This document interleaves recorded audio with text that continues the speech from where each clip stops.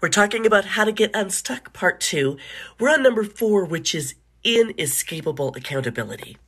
Let's face it, if we don't have someone or something holding our feet to the fire, we negotiate with ourselves until we talk ourselves out of that change that we need to make to get unstuck.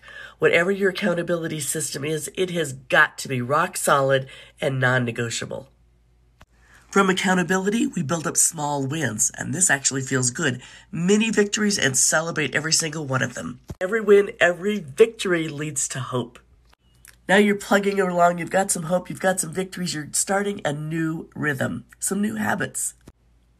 You've got to stay focused, and I mean laser sharp focused on these changes you're making.